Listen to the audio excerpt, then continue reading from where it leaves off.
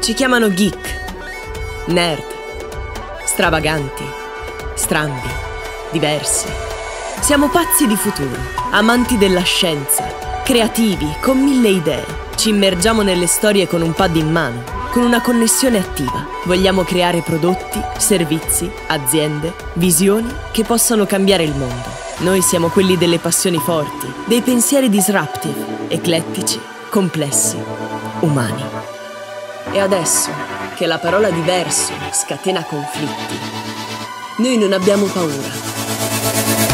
Noi non abbiamo paura di diventare diversi da ciò che siamo stati, da ciò che siamo.